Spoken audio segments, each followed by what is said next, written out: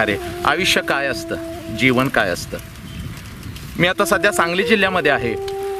ही माऊली धुळ्यावरून आली. धुळा. धुळा जिल्ह्यातून आली ना तू? हा. माऊली धुळे जिल्ह्यातून आली. सकाळी मला भेटली. हातामध्ये लेकरू होतं.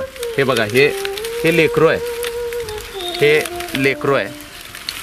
हे फक्त एक महिन्याचं लेकरू आहे. एक महिन्याचं लेकरू घेऊन ही माऊली ऊस तोडायला येते. ऊस तोडल्यानंतर तो ट्रॉलीमध्ये भरायचा आणि नंतर हा ऊस कारखान्यात जातो. ज्यावेळेला माऊली इथं आली त्यावेळेला माऊलीच्या पोटामध्ये हे बाळ होतं. म्हणजे जवळजवळ नऊ महिन्याचं बाळ होतं हे.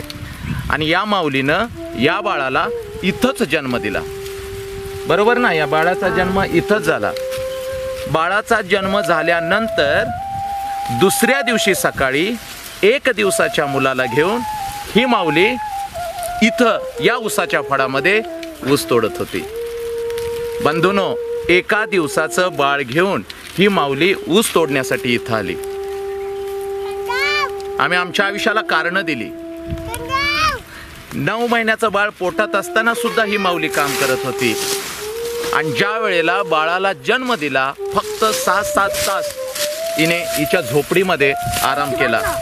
आणि आराम केल्यानंतर ही माऊली दुसऱ्या दिवशी सकाळी एक दिवसाच्या बाळाला घेऊन या ऊसामध्ये आली. या फळामध्ये आली. ऊस तोडते. आता तिचं बाळ तीस दिवसाचं आहे. अवघं तीस दिवसाचं आहे. काय सांगू? मोटिवेशन म्हणजे काय असतं? प्रेरणा काय असते? आज या वसंत हंकारेनं सुद्धा या माऊलीकडून प्रेरणा घेतली. ही माझी बहीण आहे. मला जे काय हिच्यासाठी करायचं ते मी करेन करत आहे. पण लक्षात घ्या मुलानो हे जीवन आहे. आणि ज्या वेळेला मी या माऊलीला विचारलं माऊली बाळाचा बाबा कुठं आहे? बाळाचा बाबा नाही आला. बाळाचा बाबा गावीच आहे फिरतोय आणि ही माऊली मेहनत करते. काय बोलू? खूप कारणं दिली आपण आयुष्याला. सगळं काय आपल्याला भगवंताने दिलेलं आहे पण आपण सुखी नाही. आणि भगवंतानी काहीच दिलं नाही तरी सुद्धा सुखी आहेत. लढतायत जगतायत. विजलो जरी आज मी हा माझा अंत नाही असं म्हणतायत. छाटले जरी पंख माझे पुन्हा उडेन मी म्हणतायत.